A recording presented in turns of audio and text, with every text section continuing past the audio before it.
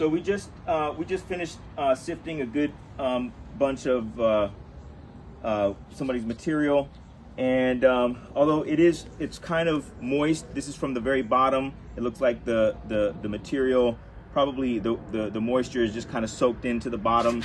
Some containers that are um, some some of the composting containers, if they're standing bins and the moisture goes down to the bottom, um, it can kind of collect there if there's not an opening. Sometimes there is an opening and it get clog it gets clogged up by the organic matter.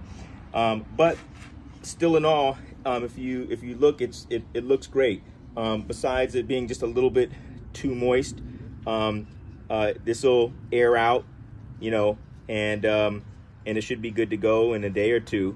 Um, and uh, it looks great. Lots of uh, activity, uh, worms, cocoons, black soldier fly larvae, so it's a healthy and active um, pile. Um, and this is uh, one of the services that we offer, and um, it, it, and it's a very simple DIY um, uh, project.